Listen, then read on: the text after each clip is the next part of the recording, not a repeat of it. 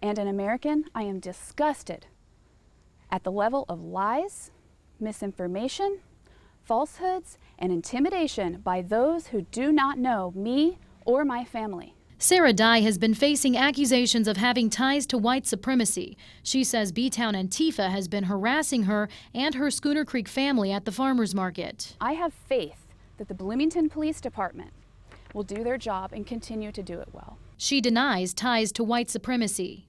We absolutely reject supremacy in all of its forms. Dye is unsure how this became a farmers market issue. Have you ever pushed your political views at the farmers market? No, never. I'm just there to sell produce, as I have been for nine years. Now she says she's caught in the middle after the group 3% offered to defend her against Antifa.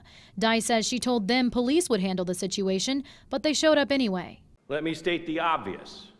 When conflict and tension are, pub- are present in public gatherings, it is dramatically more difficult to protect public safety when firearms and other weapons are present and pre- pervasive. The city is working on solutions to make the farmers market safer. Some vendors think removing Schooner Creek is the best option. They need to get them out of the market. No one feels safe with them there at the market. Two weeks from now, if they're at the market, we're not it's not going to matter how many police are around. But removing the farm may open the city up to an expensive First Amendment lawsuit. Maybe that's litigation that needs to be done.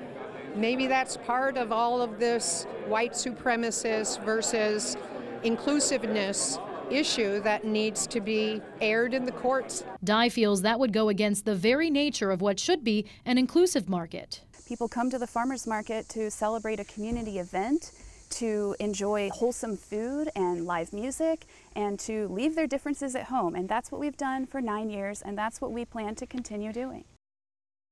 I spoke with the commanding officer of the 3% group, Gary Weddle, who came in support of Schooner Creek last Saturday. He says they didn't threat anyone, but his group does stand against B-Town Antifa. He confirmed that they reached out to Sarah Dye after learning about this controversy on Facebook. I reached out to B-Town Antifa for comment, but the group said it does not do interviews with the media. All right, a story we will keep